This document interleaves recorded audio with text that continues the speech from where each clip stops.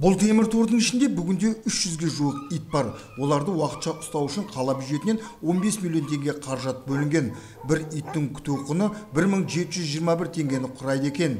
Енді иесі анықталмаған қаңғыбас иттер бұрынғыдай беккері шұңқырына тасталмайды. Мына арнайы пеште өртеледі.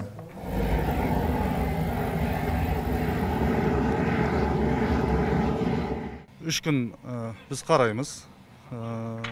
Үш күн ішінде егесі анықталса егесілер келіп жаңағы итін жаңағы сүйреттеп берсе иті болса біз қайтарып береміз.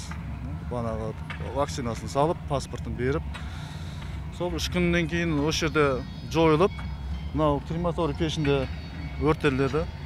Чтобы ертең тасталған кезде тасталса ана басқа да аурулар шықпау үшін осы крематорий пеште күл болып жанып күлі қоқысқа тасталады.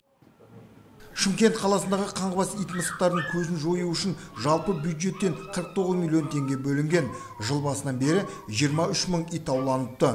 Бұған дейін қала көшелерінде қаңғып жүрген жануарлар арнайы мылтықпен атылса енді құрықпен ауланады.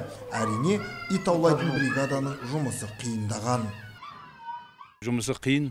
Петлемен жаңағы жансыздарды қуалап күнделікті былтырғы жылда бізде күнде 150-200 итке дейін ауланса қазіргі таңда 70-80 ит ауланады. Өте қиын. Сонда да болса осымен жұмыс жасап жатыр сала мамандарының айтуынша бұл уақытша оқшаулау орны қаладағы ит мысықты ұстау қағидасына сай ашылған.